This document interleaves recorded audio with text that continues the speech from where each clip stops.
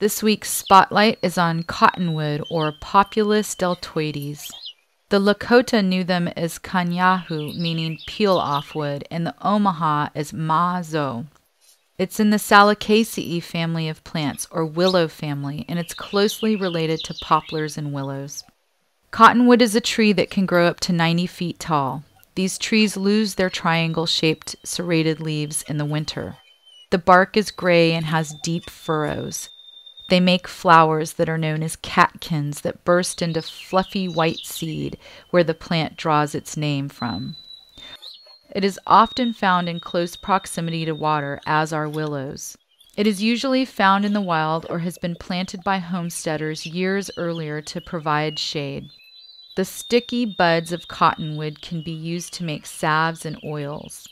The twigs can also be used for both oils and tinctures. Traditionally, you will hear reference to using the bark, but it is an absolute no no to strip a tree for its bark unless it's already been downed.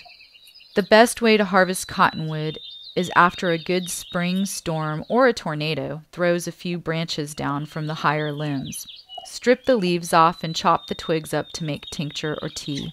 Many tribes have used cottonwood as a textile and medicine throughout history. Medicinally, it's known for its pain relieving effects. The willow family in general is known for having the constituent salicin, which has been synthesized and used on the market as aspirin. Willow bark is a popular market herb for headaches and other pain relief, but cottonwood has been said to be more consistent in its effects pharmacologically. The plant can be used both topically and internally. It's best used as an oil or a tincture. I use cottonwood bark in my aches and pains balm.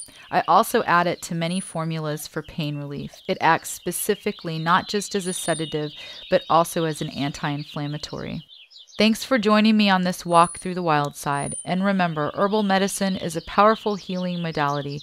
Please consult a trained clinical herbalist and or wildcrafter to help you make the best and safest and most sustainable choices when harvesting herbs or using them medicinally.